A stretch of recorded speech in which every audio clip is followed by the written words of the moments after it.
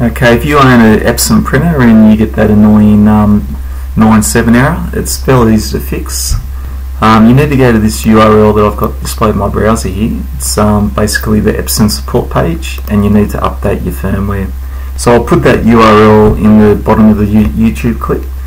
Um, so you just click the download button here to download the actual program that you need to run.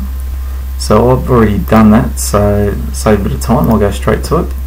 Um, once it's downloaded, just double click on the program. Um, okay, that just takes a couple of seconds to start up.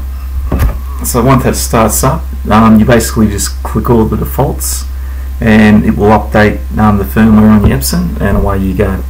So you get this screen here, you just click on next, um, just agree to the terms conditions, click on next, next again and then you just click on start.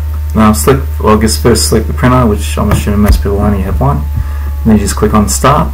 Um, that'll update your firmware and your printer should start working. Okay thanks for watching